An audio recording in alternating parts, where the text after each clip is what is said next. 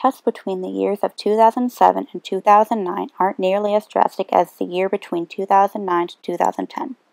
As the years go on, music becomes less of a priority in schools than the standard STEM classes, so funding goes towards those classes, while music is cut more and more. Students who have high levels of involvement in instrumental music over middle school and high school have higher levels of math proficiency by the 12th grade.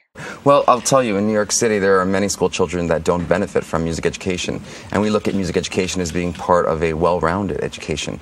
And so, coming into New York City and finding education through music, believing that every child deserves you know, an equal opportunity and, and, the, and access to quality music education, that's what drew me to education through music education through music, we currently serve 15,000 students every week, all year long, with a mouthful, comprehensive and sequential music instruction. Both Jayci and I started band and will end band with the same director, Mr. Wacker, since he followed us from middle school to high school, making him our teacher for seven years now. We've obviously had more time with him than any other teacher because band doesn't end after one or two semesters because it's an ongoing process of learning and playing in an ensemble. Band can go on through high school to college, and after that, there are groups of adult musicians who play together just for fun. Over the last four years, the majority of our free time at school has been spent in the band room, either practicing or just hanging out. Combined with all the hours we have had rehearsal, stayed late for marching band, or just eating lunch and skipping class, it's safe to say that we have spent most of our high school career in the band room.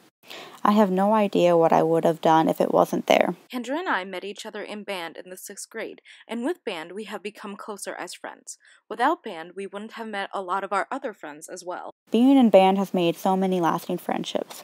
At this point in my life, I can only think of maybe three people I'm friends with who aren't in band, and everyone else I know is in band right now or was in band at some point. I think music is important in schools um, because, uh, well, first of all, music is one thing that makes us human. It, it connects us all, and it separates us um, from from animals essentially. Um, and it's something that's part of our, our daily lives. You can't go through a day um, without hearing music. So uh, teaching teaching music and having music uh, in the schools is really important to uh, pass that on to the students so that they know how to uh, uh, how to study music, how to perform music, and then learn how it, how it uh, relates to us as human beings. Typically, administrators um, feel like they can't cut core classes quite as much. Um, typically, core classes, that's going to be the bulk of uh, student requests for classes. So it's going to be a little bit more difficult to cut core teachers or cut into core teachers, um, FTE. Uh, whereas music, they're not getting as many requests uh, for music staffing, so they, they have a tendency to look more towards music classes um, or other exploratories. So when budget cuts are happening, it's it's a little bit easier to cut music education staff than, than other other staff in the building. And so when you're cutting into staff, uh, that cuts into programming. So if if you're losing uh, band directors, um, that's going to cut out, you know, maybe the jazz band isn't going to be able to perform, or we won't be able to have a jazz band anymore, or maybe we won't have as many um, small ensembles perform at state uh, solo and small ensemble, or maybe we won't be able to offer uh, music theory anymore. Um, so it's going to not only cut into staffing and the teacher uh, teacher to student ratio within the music department, but it's also going to affect what, what programs are being offered. I did band. I started band in fifth grade.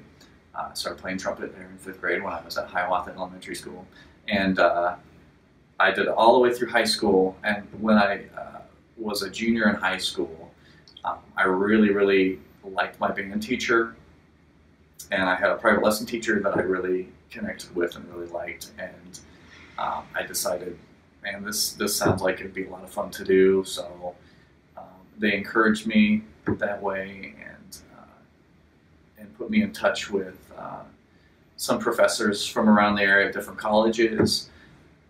Um, and I decided then that yeah, this is the route that I want to go. I want to I want to be a band teacher. The College Entrance Examination Board found that students involved in public school music programs scored 107 points higher on the SATs than students with no participation. As you can tell from this graph, extracurricular activities are being cut in schools all over the United States, but what is being cut the most is music. I promise two things in this program. I promise you're gonna have memories of a lifetime and friendships that last forever. We teach band is life.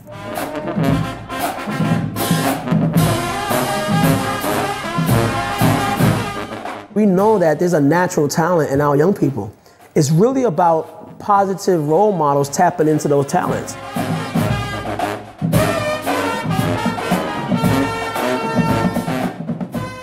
Music is honestly secondary to what we do. It is secondary what to do. Yes, it's great. Yes, they sound good. Yes, they're talented. But if they're not growing individually, if academically they're not succeeding, we're not doing our job.